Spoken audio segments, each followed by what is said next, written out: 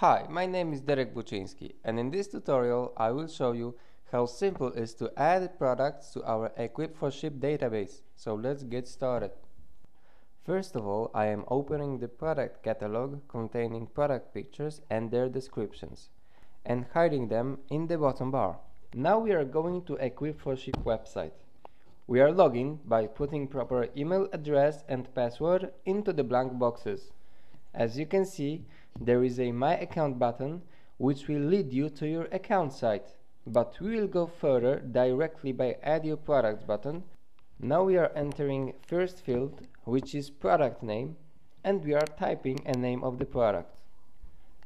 In the field below we can type brand of the product or place there more information if it's needed.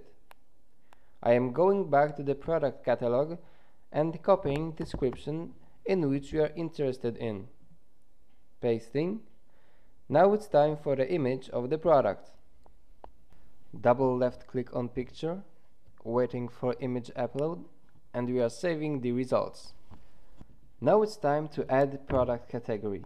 We are simply typing product name to see if the results will be satisfactory.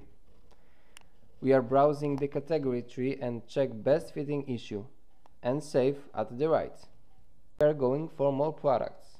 So add more products button typing another product name and we fill brand field by auto result option.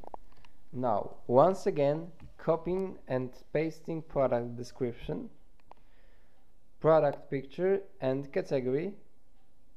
So that's it. We have just experienced how fast it is possible to add products. Now you can go to the preview company data to see how your products page will appear on the catalog. Thank you for your time and I wish you best luck adding your own products.